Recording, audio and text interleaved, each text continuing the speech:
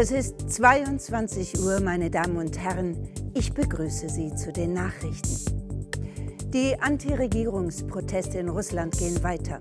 Nach nunmehr zwei Wochen voller Proteste, gewaltsamer Auseinandersetzungen und zahlreicher Inhaftierungen von DemonstrantInnen ist immer noch kein Ende in Sicht. Der russische Präsident, der heute von einem Staatsbesuch in Frankreich zurückkehrte, forderte noch am Flughafen ein Ende des Vandalismus und kündigte ein härteres Vorgehen gegen die Unruhen an. Wissen Sie was?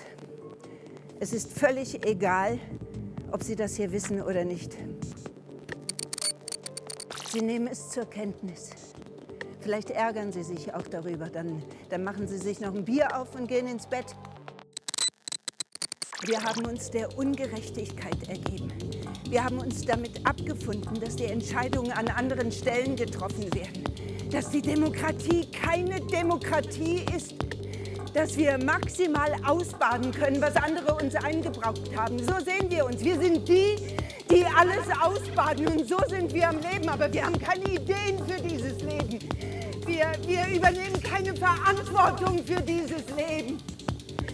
Wir kümmern uns um uns selbst und sehen zu, wie um uns herum alles mutiert und krepiert. Und wenn uns selbst mal was Schlimmes passiert, dann sagen wir uns, aufstehen, weitermachen, durchhalten, nicht aufgeben. Aber ich frage Sie, warum? Ist das alles? Durchhalten!